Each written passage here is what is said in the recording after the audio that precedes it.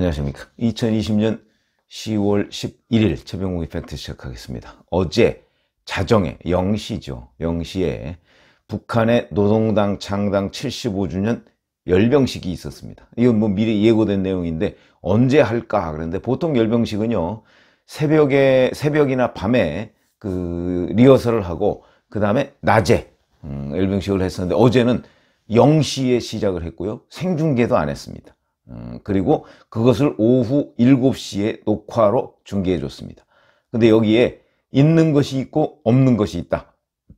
그래서 우선 있는 것을 말씀을 드리자면 이 대부분이 과거에는 뭐 대미 정책, 대남 정책 뭐 이런 것들을 쭉 얘기하고 뭐 각 그 군사 부문에서의 발전, 뭐 노동당 창당이니까요. 뭐 그런 얘기를 쭉 하고 그랬는데 이번에는 대부분을 코로나로 고생하고 또 전후방에서 뭐 경계 근무를 서느냐고 고생하는 장병들 이런 사람들을 치하하는 문제로 대부분을 그 할애했습니다.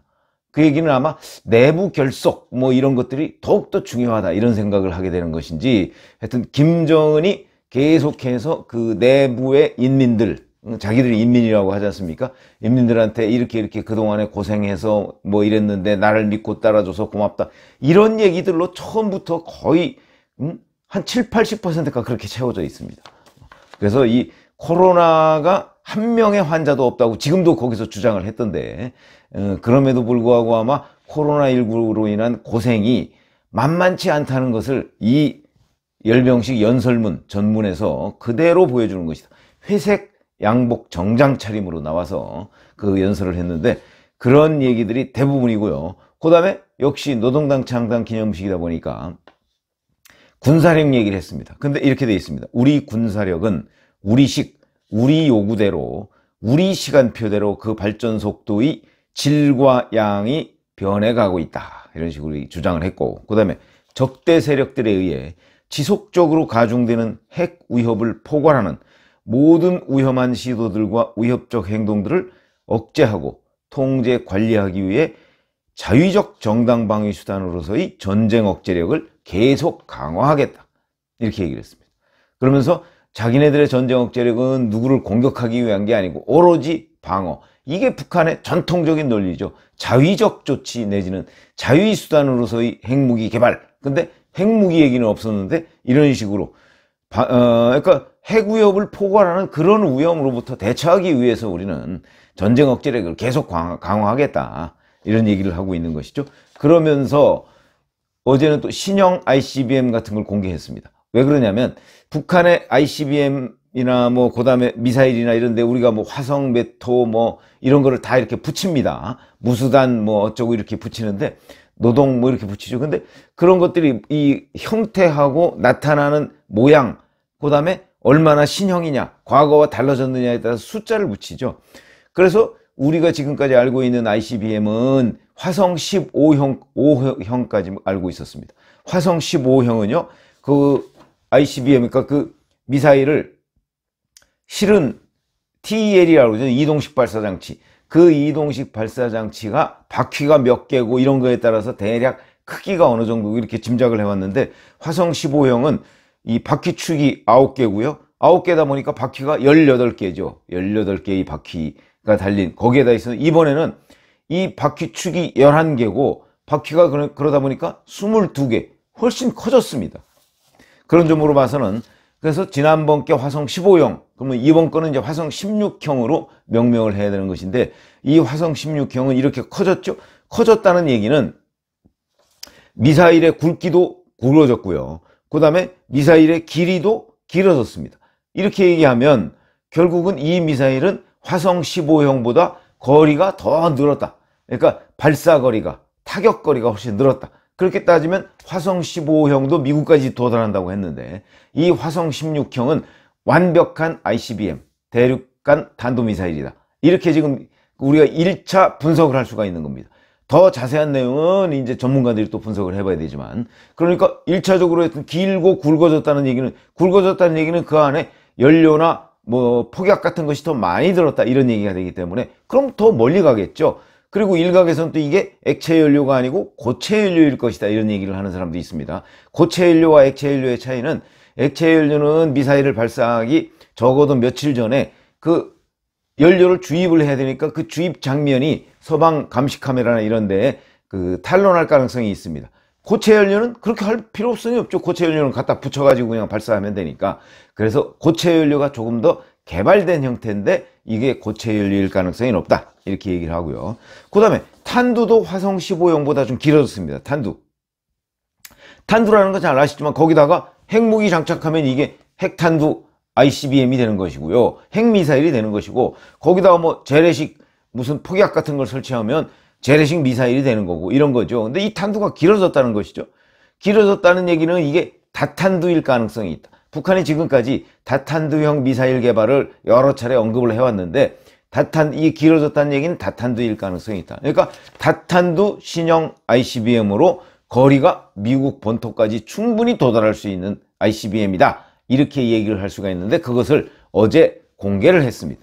그 다음에 또 하나 신형 SLBM. SLBM은 잠수함 발사 탄도미사일이라고 잠수함에서 발사하는 겁니다. 이것도 거기다 아예 그 미사일에다가 썼더군요. 북극성 4A형 이런 식으로 썼더군요. 이게 이제 새로 개발된 무기다 뭐 이런 뜻이죠. 왜냐면 지금까지는 북극성 1형, 그 다음에 북극성 3형 뭐 이런 것이 이제 개발이 돼서 이름을 다 붙였고 북극성 1형의 지상형, 지상에서 쏠 수 있는 그런 SLBM도 북극성 2형이라고 이름을 붙여서 공개한 적이 있습니다.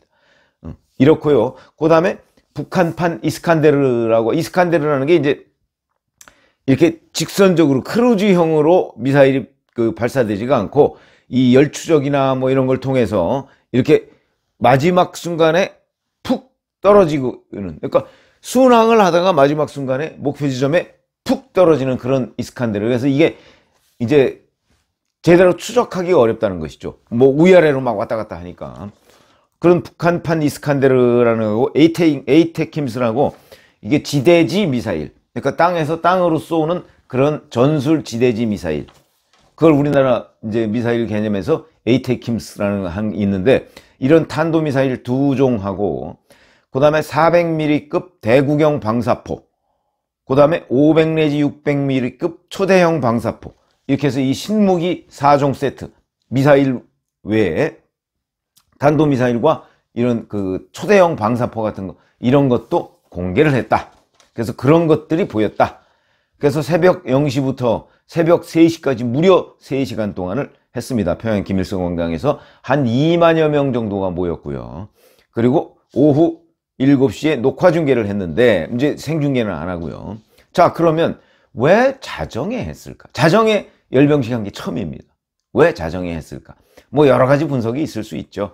뭐 자정이면 미국 시간으로 오전 11시인데 미국 측에 보란 듯이 신형 ICBM을 공개한 것이다. 뭐 이런 분석도 있고 그 다음에 대외적인 노출을 최소화하기 위해서 사전이든 아니면 열병식 중간이든 노출을 최고, 최소화하기 위해서 자정에 했다. 뭐 이런 분석도 있는데 그거보다 저는 새로운 열병식을 보여주기 위한 것이다. 이런 생각이 듭니다. 새로운 ICBM을 거기서 보이고 새로운 그 SLBM을 보였지 않습니까? 그러니까 이게 무언가 김정은 시대에 우리가 이렇게 달라졌다 하는 걸 보여주기 위해서 자정에 시작하는 것 아닌가 이런 생각이 듭니다. 그러니까 일종의 왜 관종 관종 이런 얘기 많이 하지 않습니까? 관심을 끌기 위해서 오히려 주목을 끌기 노출을 최소화하는 것이 아니고 주목을 끌기 위해서 자정의 열병식을 시작해서 새벽 3시까지 새벽 3시까지 응?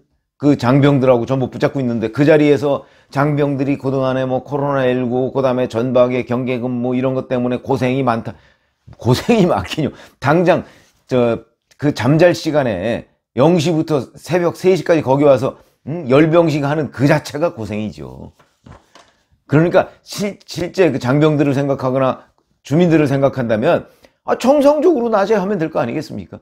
근데 이런 이율 배반적인 주장을 하고 있는 게 바로 김정은인데 이제 그건 왜 자정에 열병식을 했느냐는 것과 관련해서 이런 이제 분석이 있고요. 자, 그럼 이 열병식에 없는 것이 뭐냐? 우선 비핵화 얘기가 전혀 없습니다. 오히려 강화하겠다. 핵우협을 포괄하는 모든 우협에 대해서 전쟁 억제력으로 맞서고 강화하겠다. 이런 얘기가 있습니다. 이거는 뭐 비핵화 얘기 오히려 역향하고 있는 얘기죠. 그런 것이고. 그 다음에 과거의 행태와 발언 여기에 보면 그거와 별 차이가 없습니다. 똑같은 얘기입니다. 그 다음에 최근에 있었던 해수부 공무원 총격 사건 이거에 대해서 아무런 언급이 없고요. 개성공단 그 다음에 금강산 관광 이런 대남 정책에 관해서 아무런 언급이 없고 최근 올해 있었던 개성 연락사무소 폭파 뭐 이런 부분에 관해서도 전혀 언급이 없습니다. 그리고 대미 정책 기조나 대남 정책의 변화 뭐 대남 정책이라고 그러면 기껏해야 뭐 그냥 그 이런 그 코로나19로 인한 뭐 어려움을 극복하고 북과 남이 손잡는 날이 그 오기를 기원한다 뭐 이런 거 정도지 이거는 뭐 거의 립서비스에 불과하고요. 대남 정책이나 대미 정책의 기조를 어떻게 유지해 갈 것인가 뭐 이런 부분에 관한 얘기도 전혀 없습니다. 음. 그렇다면 보세요. 자 문재인 정부 지금 출범한 지 3년 5개월 지났습니다. 3년 5개월 지나고 그동안에 얼마나 북한에 대해서 굴종적 자세를 유지했습니까? 그럼에도 불구하고 아무런 김정은의 변화를 이끌어내지 못했다 하는 게 저는 어저께 열병식이 보여주고 있는 것이다 이렇게 생각을 합니다. 무슨 얘기냐면 비핵화 협상 해서 금방이라도 뭐 할 것처럼 그 다음에 종전선언 뭐 그런 거 그 북한과 합의하면 앞으로 남북 관계에는 뭐 탄탄대로가 열릴 것처럼 우리 국민들을 호도해 왔는데 실질적으로 북한은 거기에 대해서 아무런 호응을 하지 않고 있고요. 그 다음에 언행을 볼 때 전과 변화가 조금도 없다. 그렇다면 문재인 정부의 대북 정책은 박근혜 정부나 이명박 정부 때와 아무런 차이가 없는 것 아니냐. 그럼 도대체 대북 정책을 그동안에 엄청나게 잘 해온 것처럼 하고 비핵화를 성공시킬 것처럼 해왔는데 무슨 성과가 있었느냐? 없다. 그 다음에 미북 관계, 미북 관계도 아무런 성과가 없고 오히려 미북 관계 지금 말로만 뭐 김정은과 트럼프는 친구다 뭐 이런 얘기 하지 실질적으로 변화가 아무것도 없습니다. 거기다 서해 NLL 인근에서 우리 해수부 공무원이 뭐 월북인지 뭐 아니면 뭐 표류에 의해서 북한으로 들어갔는지 어쩌든지 모르지만 여하튼 총격을 받아가지고 죽는 일이 벌어졌습니다. 이런 일도 우리는 아무 소리도 못하고 북한에 항의 한번 못하고 오히려 북한에 대해서 비위 맞추기에 급급하는 이런 대북 정책에도 불구하고 김정은은 전혀 변화를 보이지 않고 있다. 결국 이 3년 5개월간의 대북 정책이 실패한 것 아니냐. 거기다가 가장 큰 것은 바로 비핵화 문제인데 비핵화 문제에서는 지금 아무런 신경도 쓰지 않고 있습니다. 이런 것들이 바로 이 대북 정책, 문재인 정부의 대북 정책이 의미 없는 3년 5개월을 지나왔다. 자, 그럼 앞으로는 무슨 의미가 있을 것이냐? 앞으로도 지금까지 뭐, 뭐, 북과 남이 손잡는 일? 손잡는 일이라는 것은 우리가 얘기하는 손잡는 거하고 개념이 완전히 다릅니다. 그렇기 때문에 이 또한 기대하기 어려울 것이고요. 종전선언? 종전선언 하면 뭐합니까? 사실은 종전선언보다 훨씬 앞선 얘기가 1992년에 발효됐죠. 91년에 그 남과 북이 합의하고 발효된 남북 기본 합의서라는 것이 있습니다. 이 기본 합의서는요, 종전선언을 훨씬 뛰어넘습니다. 평화협정에 가깝습니다. 종전선언과 평화협정은 동전의 양면인데 평화협정에 가까운데 이 기본 합의서 몇 년 만에 북한이 NPT 음, 비핵화 협약을 그 탈퇴함으로써 그냥 휴지가 되고 말았습니다. 종전선언 백날 하면 뭐합니까? 남북 간의 신뢰가 우선인데 자 이렇게 북한은 아무런 변화의 기미를 보여주지 않고 있는데 우리 혼자 신뢰 운운하고 뭐 북한과 어쩌고 저쩌고 얘기한다고 해서 되는 일이 아니다.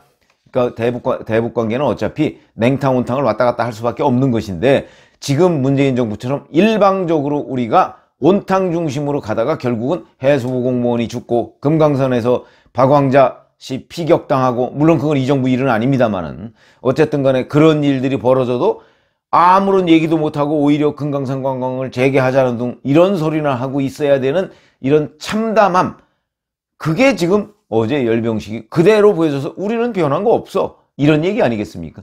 그러면 그동안의 변화를 위해서 노력을 했다는 문재인 정부의 대북 정책은 어떻게 되는 것인가 하는 부분에 대해서 어제 열병식을 봐가면서 아 역시 김정은은 아무런 변화가 없고 우리의 대북 정책이 이 정부가 이렇게 바꾸고 저 정부가 저렇게 바꿔도 북한은 요지부동이구나 하는 것을 그대로 보여줬다. 이런 말씀을 드렸습니다. 감사합니다.